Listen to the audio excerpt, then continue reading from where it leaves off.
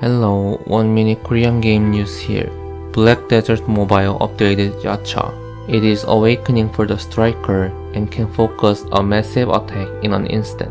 Yacha has 4 basic attack skills, but the number increases as the level go up.